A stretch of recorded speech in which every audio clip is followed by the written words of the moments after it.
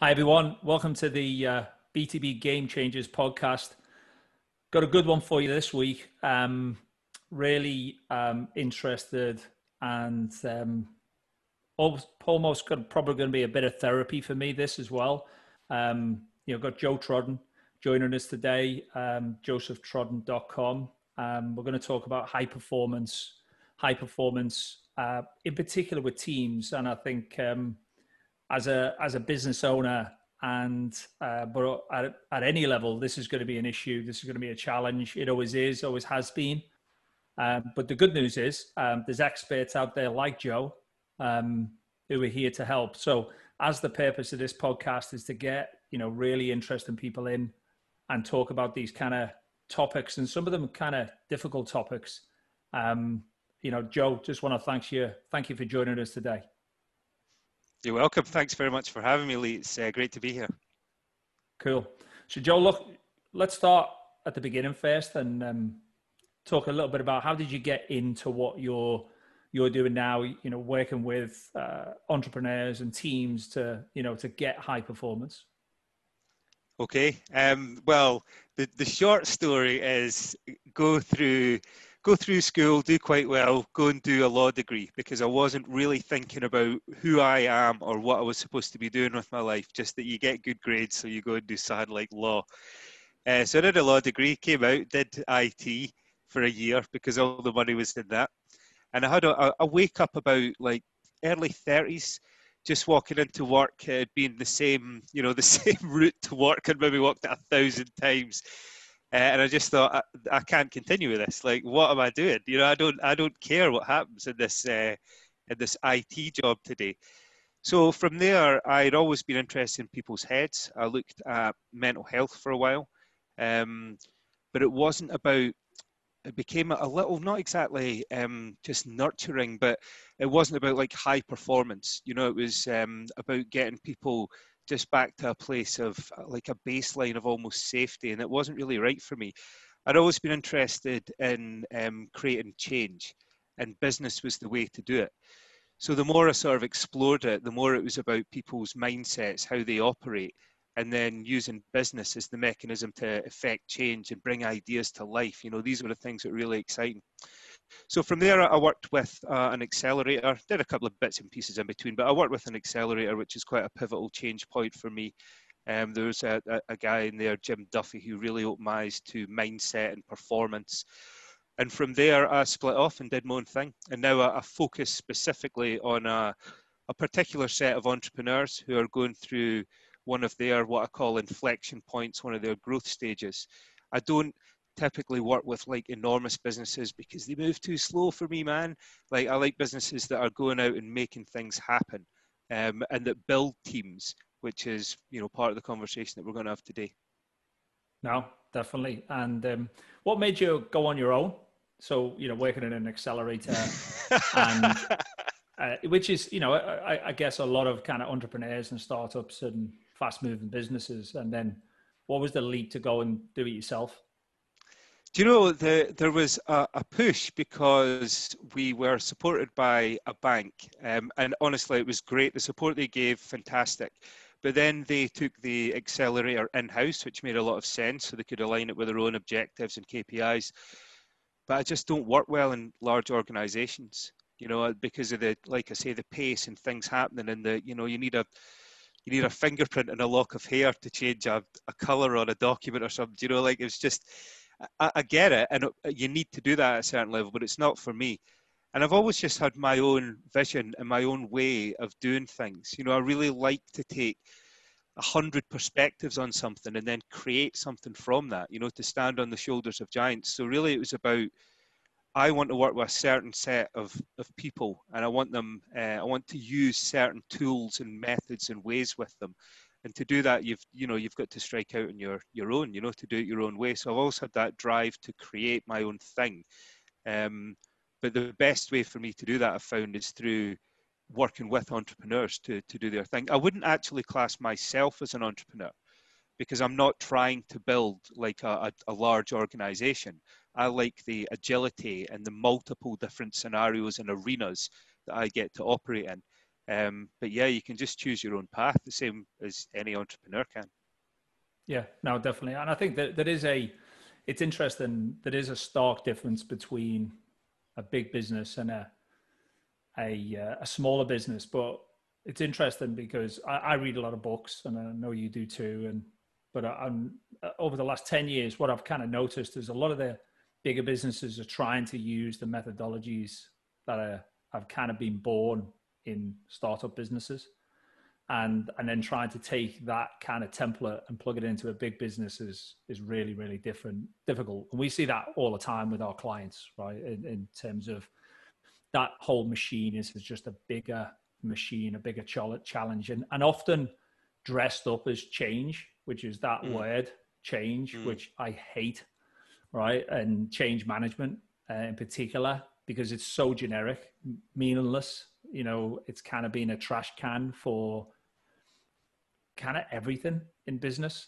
And uh, so I want to explore that more. And I also want to explore the tools, right? Because I mm. think that's unique about you. We've known each other for a while now, um, but it's also unique about your approach. I think um, in this industry or the industry that you're in, right, in terms of uh, consulting around change and teams and high performance, there's too much talk and theory and less practical right mm-hmm. and and and that's definitely something about this podcast is we want to make it a resource where it's really getting practical and exploring some interesting ideas um, so look let me let me start by uh, I, in my own experience, right, in terms of um, because uh, we could, I was thinking about, you know, where should we start with this topic because it's huge. But in my experience as an entrepreneur and a business owner working in big businesses, small businesses, um, and I like both, uh, but I am definitely a more of a, a, special forces type CEO, right? Small teams, and and that's my definition of a team, right? Is kind of a high performance special form of forces. That's what I want to be. That's what I want to develop and grow. Uh, getting there is the difficult bit, and I think from my own experience this morning, I had a team meeting, and I won't go into too much specifics, but I think it's it's a very very difficult thing to do um, because it is about mindset. Um, it is about understanding where everybody's at and understanding some of the challenges. And and one of the things I'm really keen on and explore this topic of transparency, mm. right? And I want to get your view on that and, you know, for me, that's a fundamental piece of the jigsaw, but a very, very difficult thing to actually do in practical terms because sure. of the way we work. So, can you talk a little bit about that and transparency and how it, you know, how you use that maybe in in in, in what you do with your clients? Sure, sure. So one of the, the key things there, I mean, you know, I won't, I won't go into too much about like the benefits of teams, right? Everybody knows, should know the benefit of those, the different perspectives they're going to bring, the different experiences, cognitive diversity, you know, the way people interpret the world and think. Like, you want that. You don't want a team of clones because nothing will happen. You know, you need all of those different perspectives. But some of the challenges around um, getting the most out of that team is this whole sense of identity and true transparency. So if you look at the thing that um, Google talked about in psychological safety, you know, that a team should feel this psychological safety, that they can voice things, that they're not going to be um, attacked, that it's okay to admit mistakes.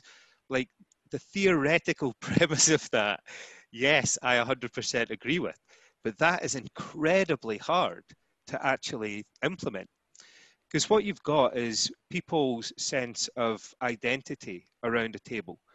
So I often ask about like who are they who are they bringing in? You know, who's who's the person that's coming into this meeting and what is on their agenda? Because if they are coming in with um, they are protecting their own fiefdom. You know, they've got they've got their own objectives, and you know that's what they're there to defend, and everything um, every conversation they want to have is to defend that they're doing a good job and that other people aren't. Um, or this meeting should be geared towards me obtaining my objectives rather than actually thinking the level up from that about well, what does the company actually need? So you've got this sense of identity that comes in. Of course, the power dynamics as well. I work with growing companies, and um, there's, there's a group typically of what I call the originals, who are the ones, and they call themselves that as well.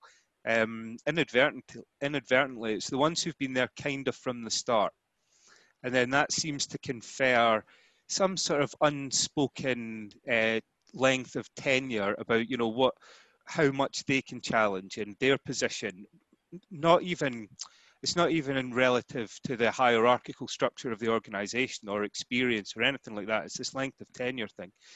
So you've got this group of originals, and then it's trying to integrate the new people into that. So you've got like all these various identities that are flowing subconsciously even into that dialogue. So when you're asking people to be transparent, you're putting all of that on the table, right? You're saying, what's the fear that you're bringing in here? What's the thing that you're trying to protect in your identity. Like, who are you around this table? And they are very difficult questions for people to, to want to answer. You know, that takes a massive commitment to say, yeah, I do actually think because I've been here longer than you, I can overrule you. I mean, nobody's saying that, right? But it's the stuff that's happening under the table. So this is why transparency is quite hard. Um, but it, it, can be done if you get people to commit. Yeah, no, definitely, and and, and you know, just to explore that a bit, but because I've seen that my own experience in big companies as well as smaller companies, but it, it definitely is more prevalent in smaller companies where you have that kind of founder syndrome, where, and I, I, I kind of building teams is, um, I, I think akin to as close as you can get to your your kind of family environment right? So at the beginning of the journey, and this this kind of leads into the founder syndrome piece, is at the beginning of the journey, everyone's aligned, right? Everyone's together. Everyone is, you know, sense of direction, and and everyone wants scale. And the reality of that is, someone that is, to scale is going to have to change because you can't do what you were doing in the first six months, three years later, five times as big. And so you kind of have these issues of, um, you know, uh, it, like you're talking about in terms of meetings. I've been here longer. Um, maybe there's other people in the room who maybe perceived to be smarter, perceived to be doing a different job, and kind of don't care that you've been here 10 years they actually just want results, right? And in, like in a family of trying to keep everybody together as we go through those changes. Um, one of the qualities that I've kind of tried to zoom in on or try to focus on to, to achieve that is just trying to preach or sorry, preach the wrong word, promote open-mindedness, right? Is just be open-minded and then try and find those kind of individuals because it's not for everyone. Some people will need to exit the business. Some people will need to exit the team because you're mm. trying to do different things. But those individuals who could just be open-minded have a great chance, in my experience. You, you know, is that is that is that the kind of thing that you see when you're working with teams? Yeah, and depending on the um, the founder, sometimes there is. I don't know if misplaced loyalty is the, the the the um, the right exactly the right term, but the people that have been with them quite a long time, it can be quite hard at times to certainly to exit them or even you know to to pull them up to say look this isn't the same as it was. Because um, you raise a great point that it's not about going this is how it worked at the start so we just do that at five times. You don't. Like the, the dynamics are completely going to change and the ownership and people get more specialized and you know things are going to change and it's the question of whether they want to adapt with that. I mean you look at silicon valley and you don't have somebody who goes in and does like the marketing function and stays with the company long term. You have the person who goes in to run the marketing function when they're at this type of size and that type of turnover. And when they cross the threshold then they leave and they go and do the same role in a, another company that's at that size because it's a very specific type of role. So you, rather than trying to sort of play catch up in terms of their learning, that's not what they want to do. They want to be the person who will take you from, you know, B to C or from C to D. It's a bit like my own work as well. That's why I say I like to work with a certain set of entrepreneurs because I recognise what those challenges are. So, like I say, sometimes there's a bit of a, a misplaced loyalty, and the, the problem can be as well that it gets it, it just creeps up. You know, it's not like there's a, a power dynamic that's just there, that just appears, because then you can deal with it. But it, it just it kind of creeps into the uh, the conversation, and at some point, there is like a line in the sand of, "Hey, this is what's really going on here. Is this, you know, what what do we want to do about this situation?" Um, so, it, yeah, it sometimes does require that. It's, it's the incremental change that that can mess things up. And really, that person um, being honest about what do they really want. You know, it's mm. like me leaving. That was that was great. I love working for Entrepreneurial Spark, and it would have been quite uh, cozy, I guess, to stay there. We'd had good exposure to more entrepreneurs, but it wasn't who I wanted to become. But I've also been through various, you know, I've run my own business, I've worked in various um, other jobs, and you know what I mean? Like the change, I was I was up for the change. If it yeah. wasn't giving me who I was wanting to become, I wasn't afraid of like leaving and doing something else. Um, yeah. So yeah, I think it's a line in the sand. Sometimes it needs to be drawn. Yeah, I think the the, the uh, uh it, I've I've definitely experienced that myself. I think the open mindedness for me, and this isn't, you know, this is a dynamic, we should state this, this isn't a dynamic that is just about founders. You, you know, if, if uh, this is about managing teams, right? So mm, you sure. could, you know, I could take over a business or I, you know, an individual listening to this podcast could be taking over a team. And some of those team members might have been there for 10 years. And it's the same, it's exactly the same dynamic. Um, I think one of the things that I said, uh, uh, open mindedness is a, one of the things I've tried to distill down into, you know, what are the characteristics of, of open mindedness? And because I think you then have a chance, right? Is if, if that individual in that team is pining for what it was like, right? Mm. We used to do things this way, right? Sure. Um, and, you know, everything was great then, right? It was perfect there was never a problem, and everything was great. Uh, or the other side of it is the, and I, will use one of your terms in terms of the, these individuals become saboteurs. Then, mm. And mm. I, and I've seen unbelievable examples of people will literally cut their own legs off underneath them just to not support um you know some of those changes and, and i yeah. kind of step back sometimes and go wow that's yeah. actually like you know, literally cutting your own legs beneath you just because you don't want to support that other individual or that sure. decision or that direction. It's crazy. Again, that's for me, that's identity and power dynamics.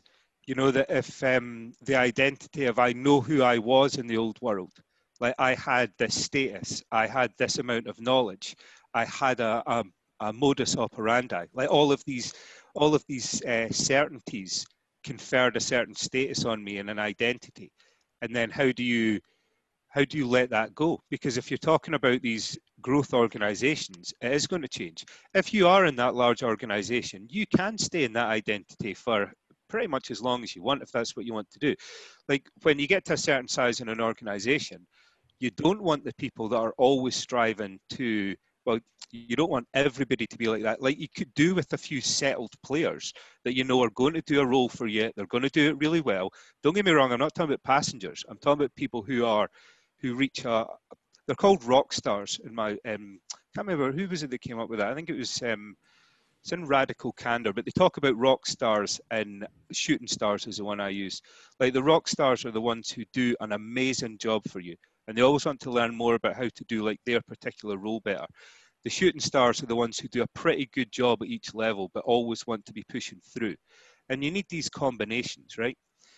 But you need people to be aligned to the strategic aims of the, the organization. So when you were talking about family, I know we talked before about Reid Hoffman's alliance. Um, so the co-founder of LinkedIn, and he's saying that families and friends just didn't work as a, a, metaphor for what it was like in the business. You know, allies was we're, we're probably not going to be together forever, but it's about see while we're together, help us with the aims of the company, and we'll help you do the things that you want to do. And this really helps with that alignment and making that choice. So if you've got a strategic timeline that goes out, say even three, six months, okay, so this is where the business is going. Who do you think you need to become by this six month point? I need to be, oh, I'll just be the same person that I am now. Okay, there isn't a job for that person in this reality though. You know, look at that. This is a strategic timeline, right? So that that job won't exist. So do we need to have a conversation about you perhaps finding something else? And the shooting stars, or even the rock stars as well, but the, the others will find a way. Um, not well, find a way is the wrong term there. The others will want a way that they can develop.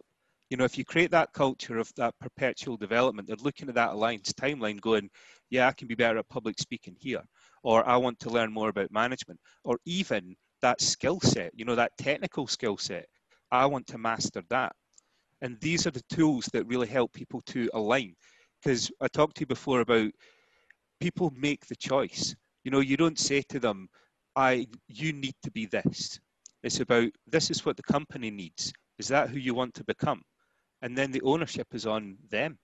Um, so I, I do think if you talk about practical tools, again, it's a good book, uh, the the Alliance. Um, but that whole thing about the choice is yours. We talk about no excuses as well. That's one of our we share that as a, a pretty much a favorite mantra to go this is on you it's not you know you you take ownership you take responsibility so that's a really good tool to look at that mm, no definitely I, I agree with that i think that's definitely one we'll we'll put in as we will with everything into the show notes i think the um, you know we're I, I, think we're both fans of ray dalio and you know, yeah. the although that's probably at the extreme end of uh, of a lot of this stuff, uh, and um, but certainly definitely my end. And I think the, the, the, one of the one of the things in that book that was profound for me, and one that we have in our business is this, you know, uh, the, the, this concept of how you deal with what you don't know is mm. more important than than kind of anything else.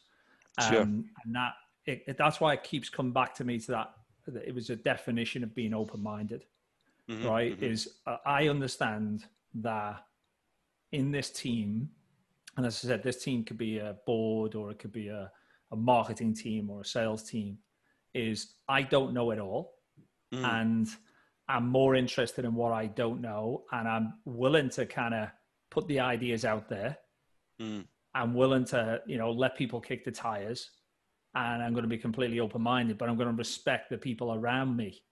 Um, you know, is a, is a massive, massive um, issue, and and one I've seen actually, you know, make a lot of sense for people and and make some big improvements on. Um, so that's definitely one that you know people also also should read as well. Uh, principles if you if you really want to get into the uh, the hardcore of this stuff, and, and uh, as yeah. you as as you know.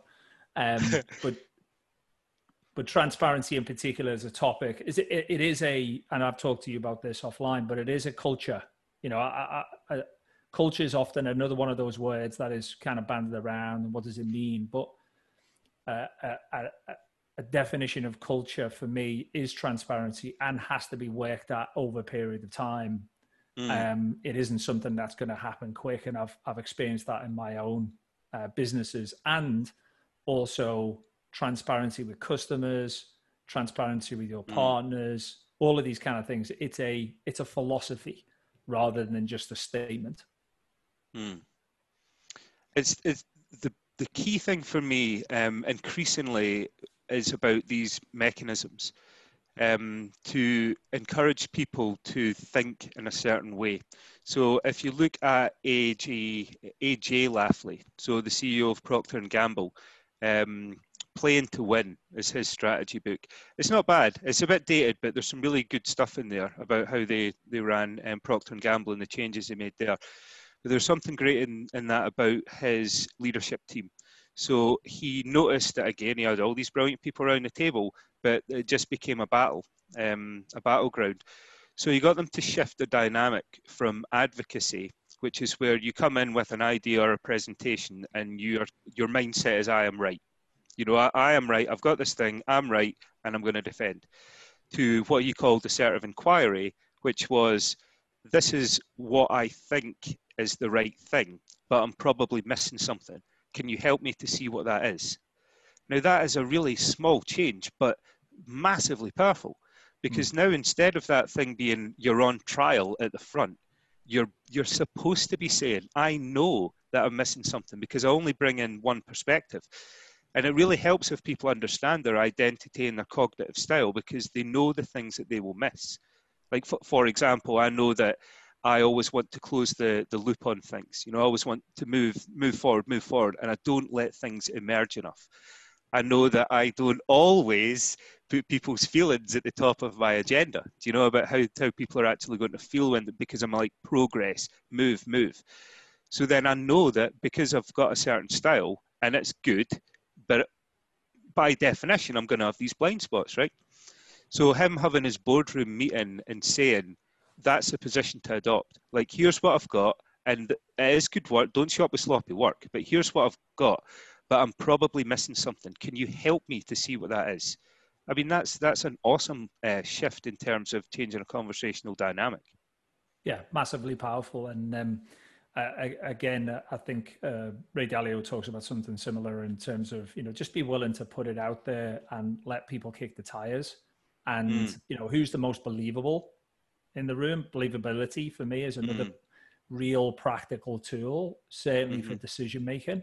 Um, but behind all of that, which is again a, you know something I want to deep dive into, is this this concept of crucial conversations, mm-hmm. by which mm-hmm. you know um, you uh, you provided me with that kind of badge, right? That's a bumper sticker kind of management technique, right? For mm. me is, and they go on, but don't, you know, do not go on enough in a business. Mm. And, sure. you know, the kind of framework of trying to set out a conversation. Mm. You know, it's it's uh, it's not it's not for everyone. It's not for everyone. This kind of thing because actually, you know, thinking about every conversation you have, what type of conversation is it? What the outcomes do I want out of it? But in a in a business practicality setting, it's so so powerful, and we've mm-hmm. experienced mm-hmm. that, you know, and seen that um, in our own business, you know, where where you, where you helped us with that. But can you talk a little bit more about that and you know, crucial conversations? the tools, the techniques, you know, how to set up a conversation and, and, educate the teams? Sure. So you look at crucial conversations, these are the ones that are tough. So you've got a difference of opinion, they're likely to be emotionally charged. Um, what what happens in that is that people will either go to a, a, what's called silence or violence. So they will either attack when say say I've got a problem with you. So then I you know I voice that, and then you're going to re- react in a certain way. And again, it's your amygdala, the fear center in your brain. It's all to do with your identity again. I don't like this situation. Either you're maybe you go with violence if you feel are you saying i'm not smart enough? Are you saying that i've done something wrong? Or depending on your psychological makeup you go oh no i've done something wrong. Oh i'll I, you know i want out of this situation now. So again this is all about identity right? All flowing from how you react to certain situations but your amygdala is doing it. Um, a quick sidebar on your amygdala though is that it holds memories that you can um, rewire so, like your amygdala, if you think about public speaking as an example, people are terrified of that. You can't just say, well, I'm just not going to be terrified of that anymore. Ta da! Like it doesn't work like that. You need to put yourself in that situation, like repeatedly, which yeah. is what um, Ray Dalio is doing with his company, right? He's repeatedly putting people in those difficult situations. And then you either adapt to that because you want that, or you leave because it's just the, the you know the psychological load of that is too much for you. So you have to be a particular type. But so you've, you have the difficult conversation, amygdala flares up, you will attack or you will withdraw. And then you'll typically either try and force a point of view so you don't get any commonality, there's no ownership, it just becomes about a hierarchy. Or you dilute what you're going to say so you don't really make the point, but you're like, well, I had the conversation though, Do you know, it didn't go exactly the way I wanted. So the key thing with that is about narratives.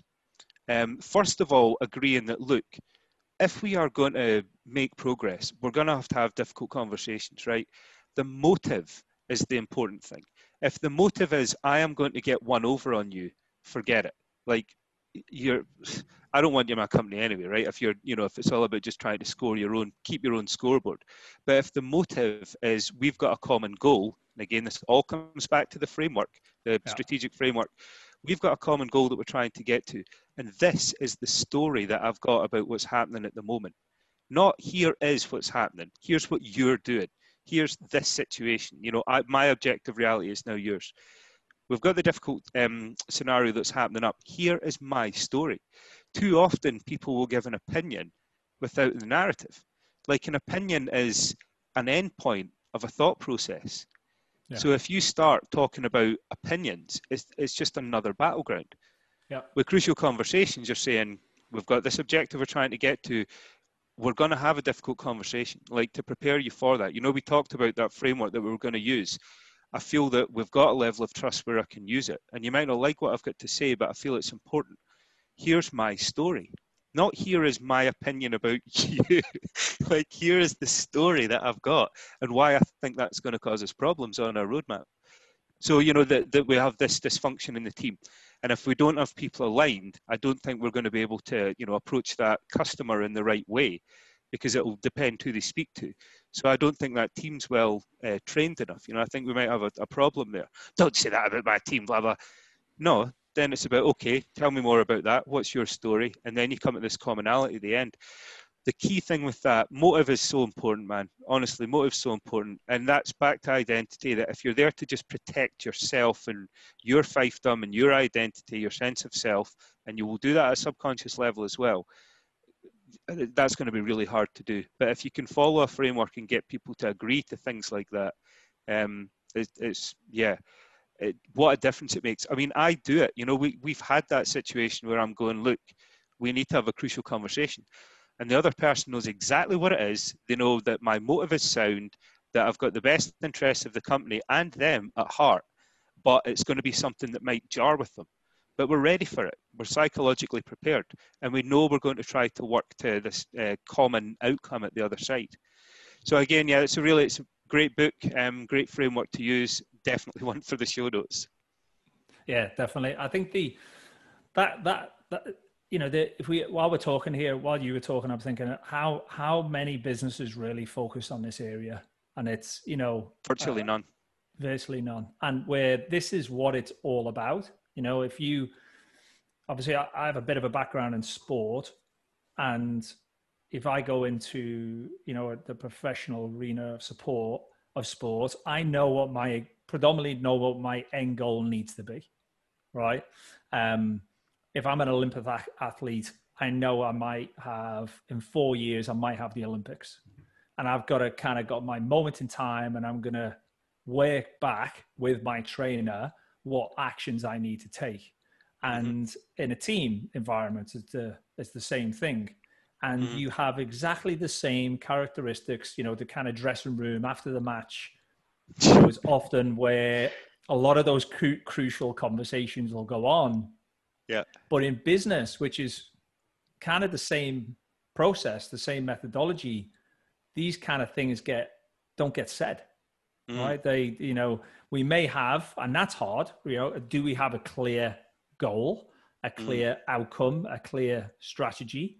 Then yep. once that's in place, it's okay. Are, are we working towards that collectively, which is absolutely crucial? And then is every decision we take off that part of moving us forward towards that outcome? You know, you and I are a fan of OKRs, which we, mm-hmm. we I'm actually going to do a podcast in the next few weeks with someone on OKRs and that align back to that. But these things are very, very difficult and time consuming. So mm-hmm. it's kind of no surprise that virtually no time in businesses gets spent in this area, but the impact is huge. Absolutely sure. massive. Sure. I mean, it's this thing of well, how much groundwork do you want to put in? Like this is yeah. this is another challenge around conversations um, and working in teams. First off, that that point there about the alignment if, if you don't have that, you can forget it, right? If you've got to have the team all going, like your leadership team should be able to tell you what the strategy is. Not like I, I as a CEO can present the strategy, right? Say you've got a leadership team of six, everybody should be able to give that presentation. Okay, they can use the PowerPoint, right? They can use the notes, but like everybody should be able to explain what that is and why, you know? Because if you don't have that, then when you do run into things like the difficult conversations, you can't point to anything objective. You can't point to the OKRs and go, yeah, but look, that was, you know, we were, we're trying to hit this number. So the story I've got in my head is if we continue on that path, I don't think we're going to be able to do that. What's the story that you've got? Bang! What a totally different conversation that is to you're not doing your job properly. You know? Yeah, but mm-hmm. I am because I'm doing this, and here's the, you know, here's my sales target, or here's my whatever the, the target is that they're working towards. If you can't always pull that back to here's the main strategy, and here's my narrative about how we're going to we are off the thing that we agreed i'm pointing away at the wall here the thing that we agreed that we were going to do like that's not that's not up for debate anymore we've had our debate around that strategic timeline that's what we're doing so then it's the, the conversation about and my story is this what's what have you got i'm probably missing something what's the thing that you've got totally different conversations but it's about it's about giving people those tools and everyone yeah. uh, subscribing to that way of working. Um, and that's got to be explicit. Yeah, that's that, but that I think that's the key is is um, you've got to give people the tools. Mm. You know, in my own experience and working with clients, uh, working in in businesses and and, and in the, and in all of the best circumstances, there's been a relatively detailed, and I like detail, um, I've become to like detail. Um, a relatively detailed, let's say, strategy, operating model, whatever you you kind of want to call it, uh, mm-hmm. plan, sales plan, marketing plan. Uh, get it ninety percent down the line, right? I think that's the leader's job, right? Put something on the table, be willing, uh, but then you're going to get, you know, once you get put it on the table, you're going to be called dictatorial, but that's you know part of the, um, you know, part of the the kind of circumstances and say, right, let's kick the ties of this. As you said, right? Let I, I, I don't know at all, right? I'm open minded, but this is what I think we should do. Mm-hmm. And then get that alignment around it and then provide people with the tools. So you've now got the strategic plan in place. Mm. Now let's provide people with the tools to not be threatened every time, you know, uh, something comes up in regards to you know sharing numbers or sharing performance or mm. looking at someone else's performance and it's a as i said it's that amyg- amygdala comes back at you instantly hits you and you go into that kind of threat mode and and that's the that's the key i think from a because uh, you know that in my own experience i've seen individuals personal development um who you know want to learn, reading books, thinking about these things consistently, but there's very few of them. So at a, mm-hmm. at a scale, you've got to provide those tools. It's mm. absolutely mm. crucial because CEOs or leaders are great at expecting things, people to get it, right? Mm-hmm. And I've experienced mm-hmm. that in my own career. Um, expectation management um, or expecting the people just to get it um, was was definitely one of my um, philosophies at the beginning of management, and I learned the hard way there. But uh, before we get into the tools, because I want you to talk about some of the practical tools that we're talking about here. What are the kind of concepts that uh, the listeners can kind of, you know, do more research in or reach out to you on? Because the, this is where I think it, it becomes really valuable because it's it's easy to wax lyrical about this stuff over and over again. But what are the practical tools? But I want to I want to touch on this subject of honesty, which mm-hmm. is again, I get your view on it. It's a an, an overused word, and I think you've pointed to some of this um, already.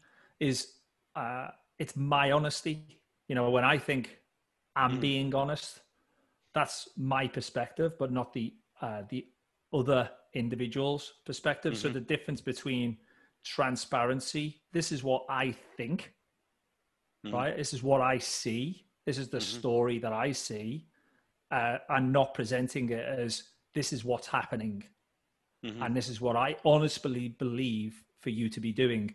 Do, do, you differentiate them? Is there a value in differentiating them in in a kind of practical terms with with uh, in in in meetings with teams or one on one management? Well, like the, the evidence is important, right? So OKRs as a system says, do we do this or not?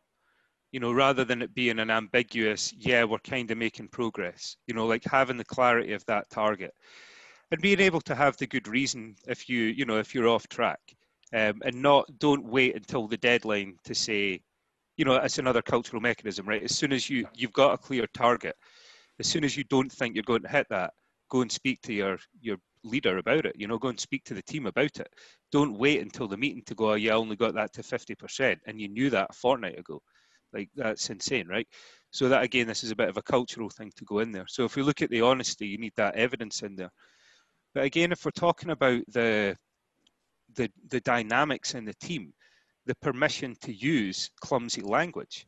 Like if the motive and the intention is there, then the group can call out, are you doing this X or Y, do you know? Because that's not what we've all agreed to. Um, I don't know if this will directly answer your question, but I think it's an interesting thing to, to be calling out in meetings about, we touched on like positional and generative conversations. So the positional conversation, you imagine yourself, you're sitting around your um, leadership team uh, meeting or any team. So positional conversation is, I've got a position, you've got a position, and we're not moving. It's like lawyers in court. They're not trying to convince each other. They're trying to convince the decision maker. So if if you're having a positional conversation, and that's you know you need to have those at times, just call it out for what it is, and not let's you and I have a debate for an hour, and at the end of it, we'll just you know no one's moved an inch. We're just in the yeah. trench I've, warfare. I've had I've had exactly that this morning, right? Well, in but, a meeting, yeah. Yeah, but you can then you can call that out if people know that's what that is. So there was a really interesting. There's a book called um, Dialogue, which which is um, really good. So William Isaacs talks about this thing with um, I think it was called Lion Foods and this undercover uh, reporting agency. So Lion Foods were up to some um, misdeeds, you know, as food production company. So these undercover reporters went in, and uh, Lion Foods actually won a case against them because they, although they exposed them, they committed fraud by applying to go in as workers, right? So there's this big case about it. So this talk show host gets them on, and he says that what they agreed to do was to talk about the wider picture there, like the ethics of what they were doing and why they would do that, and how both parties could benefit. So basically, you know, where could the line be between being held to account and the media using spin and tactics to? But that's not what happened, right? They just had a conversation where they were like, you guys did some bad stuff in your factory. Oh, yeah, but you guys committed fraud to get in there. It's a positional conversation. So, five minutes into that, you can be going, Are we trying to learn anything new in this conversation? Is there anything that you think you might be missing from your position? And if the answer is no, fine. We'll shut up then because we've heard your position. Like, yeah. we get it. We all get it. If you're having a generative conversation, then you're saying, like we touched on before, I don't have everything. I don't have the full picture. I don't have all the answers. But if your team, and it, these things are not easy. You know, I'm talking about mm this like you can just go in and go, right, everyone can now have crucial conversations because there's a book on it and a framework. Everybody can talk about their identity. You can just use positional. One of the key things is like, don't try and change everything at once. But if you can have that moment, that's five minutes in going, and it's not an attack, it's just going, have you got a position on that? And now you do you think there's anything left for you to learn about, you know, this that might sway your position? No. What about you? No. Cool. So whose decision is it? Right. Decision's made and we move on. You know, like that's mm-hmm. um that that's a thing when you're we're talking about it's just such a, a powerful tool because it's really simple and it just gets people to stop and think like are you trying to learn anything new here or have you got like a concrete position either's fine but just so we know and we know what we can do with this conversation from here. Have you experienced the the kind of people think that the de, dehuman, uh, you know, they're becoming dehumanized by these kind of everything's got a framework, everything's got a position. We're setting out, you know, this is the conversation that we're going to have. Um, mm. You know, I, I, I think that for me, this is why I know. Um, I think it's Amazon that don't use PowerPoints right? And mm. um, they also uh, they write documents, right? Mm-hmm. And we we have a topic at the moment in um, in our business, which is it's quite a big strategic decision, right? And what I said, said, look, rather than let's talk about it, let's put together a paper, right? I'd like to understand everybody's views on paper mm-hmm. because mm-hmm. it's always easy to input. The cost of talking is very mm-hmm. little. And mm-hmm. it, the, what happens is what you were talking about before is kind of shooting from the hip. You know, my, this is my instant reaction and I'm going to shoot from the hip because this is what I think you're doing. And actually, mm-hmm. the value of that is very little. Mm-hmm. And but I, I kind of you know what what people have said to me in the past. Look, you, you everything's now dehumanized. There's a mechanism to it. You know mm-hmm.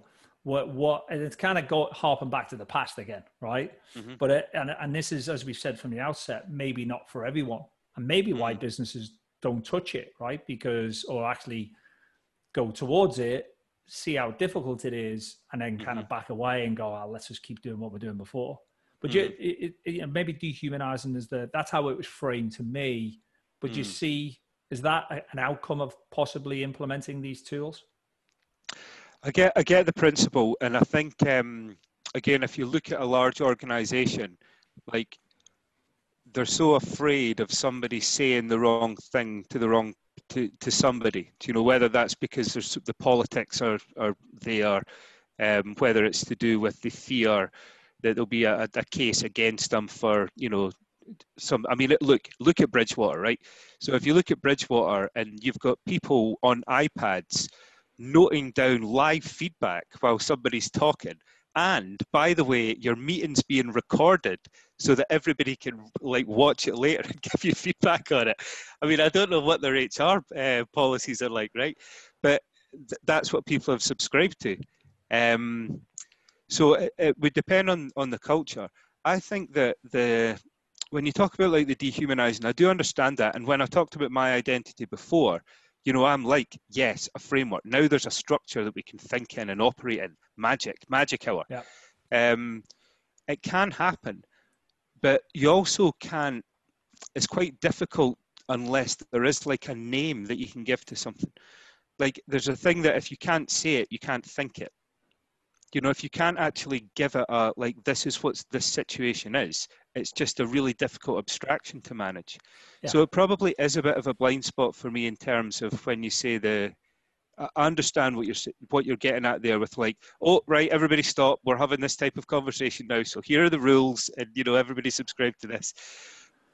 If you can get the balance right though, to go, you know this is it. This is uh, everybody's like we've got a position. It feels like you're in a, a you're having a, a, positional conversation there.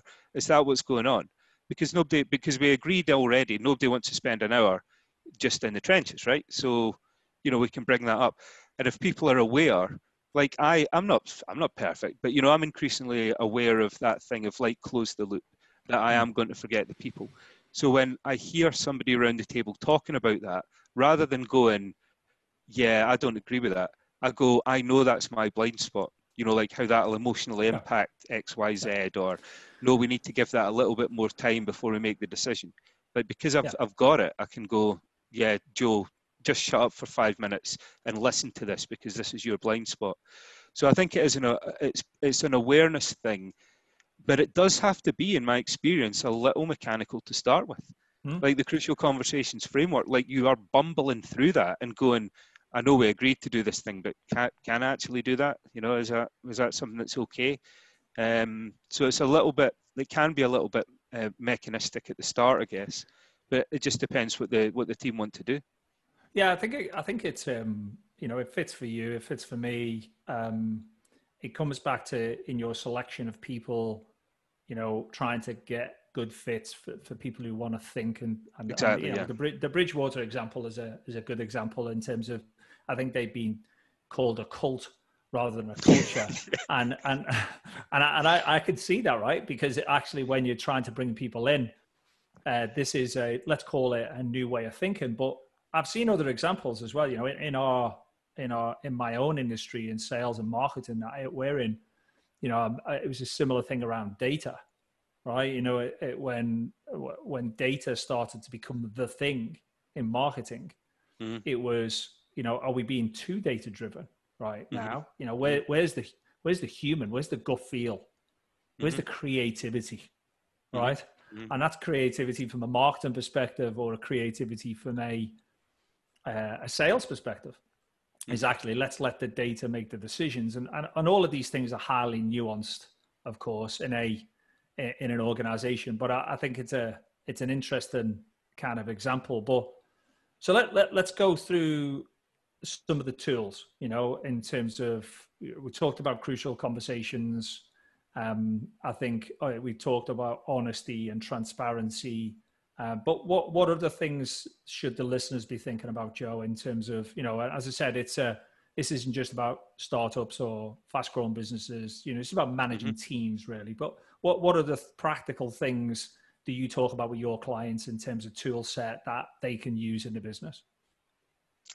Um, well, the first thing, if you look at that identity, then I'm a big fan of Myers Briggs. You know, again, it's one of those things. Some people are into it or or not, but see as an introduction to just appreciating not just yourself but your opposite. So Myers Briggs will give you a four-letter personality type. It's more of a cognitive style than a personality type for me, but if you look at that and then look at your opposite, and then you can start to develop an appreciation. It's quite easy to look at something like a Myers Briggs or even like a DISC or any of these things and go, yeah, haha, I am a bit like that, right? But if you start to really appreciate what that means in a team dynamic, you know, like take that up to the next level. Is to do with your um, cognitive style, how you process information. So I'm always, I always want to advocate for that because I just think it's such a powerful thing when you look at um, these mechanisms, these conversational mechanisms, uh, well, quickly, a quick shout out again for the alliance. You know, that is the one of yeah. the best frames that. that you can pull people together to say this is where we are going because you've got to have that objective clear. This is where we're going. Is that what you want? Do you want to be on this journey with us? Because here's what it's going to be like and it's not going to be what it was like in the past. Um, and you people make the choice. Ownership. It gives them ownership. And also you understand more about them about like who do they want to become and what is the skill set. So definitely the alliance what i really like in um, conversations is to, i really like disney's tool for creativity so walt disney recognized brainstorming as a disaster for the reasons that you talked about um, before where if people are just shooting from the hip they haven't really thought anything through. Like if you get somebody who is a bit of a wacky thinker and somebody who's a total cynic, you depend. It depends on the power dynamics, right? So the wacky idea comes out, the cynic shoots him down because the cynic's hierarchically, or even if it's not, you know, just in that team dynamic, there's a power dynamic there. Well, that's it. Wacky idea person is not bringing anything else up because now I feel stupid and I don't like being stupid. Like blah blah blah blah blah. Like all of this stuff happens. So Walt Disney recognised that, and for creative ideas, he had uh, three rooms: the the dreamer, the realist, and the critic. So when everybody was in the dreamer room, it was only big ideas, no criticism, nothing. Like build on stuff, just go for the craziest, craziest thing that we can. Then the whole team go to the realist room. And then it's like, what's the best idea? What do we like about those ideas? How do we make that a reality? And then the whole team go into the, the critic room. This is what I mean about the mechanisms. It's those containers for people to think in. So you're giving them, you're, hey, see, wacky person, we need you because the, the best ideas start as something that's crazy normally, right?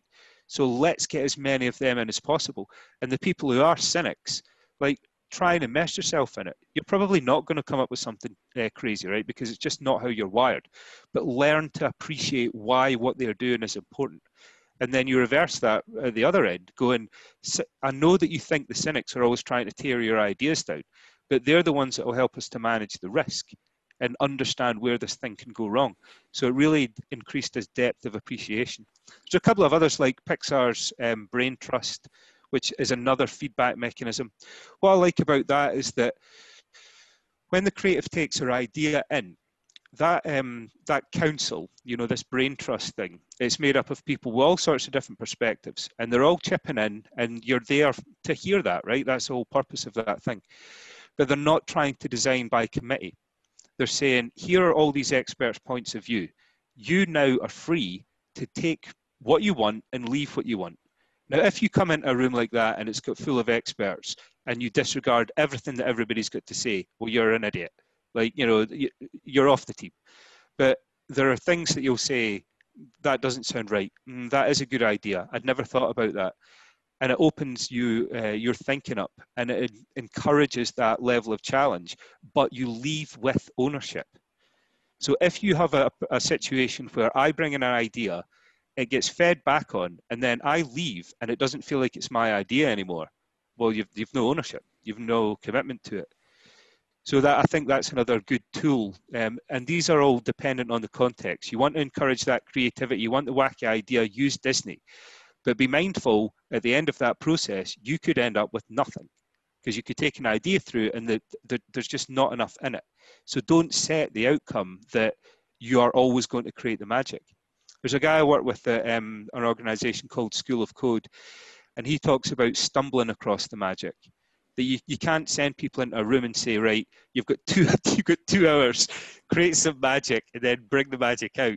Like you it might happen or it might not, but it's increasing the collisions and giving people permission to try the stuff without the pressure that, right, we've got 10 minutes to go, we better come up with the magic here.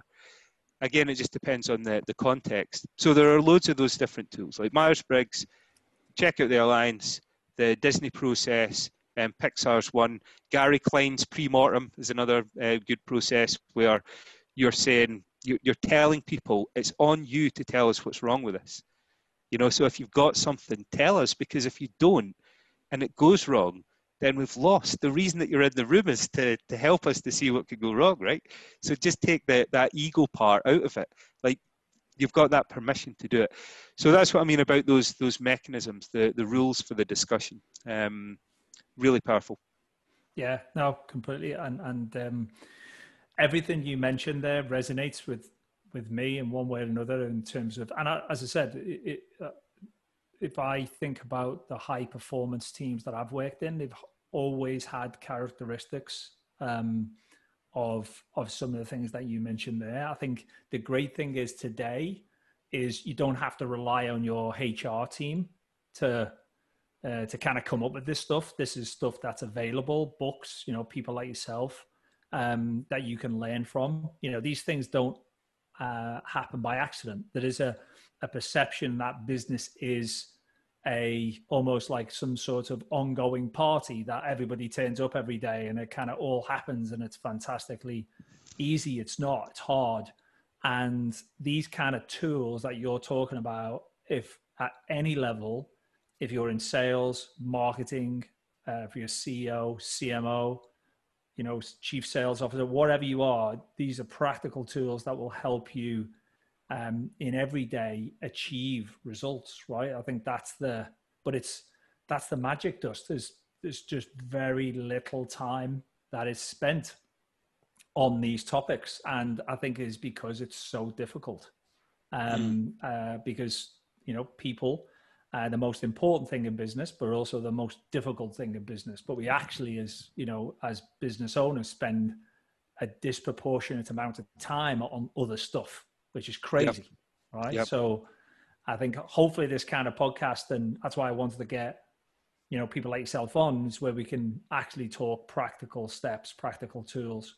Um, but Joe, look, it's been great. What, what, where should people reach out to you if they want to know more about these tools? Obviously, you mentioned them. We'll put it in the show show notes, and we'll, we'll provide links. But if they want to reach out to you and talk to you more about this kind of thing, um, where what's the best way to do that?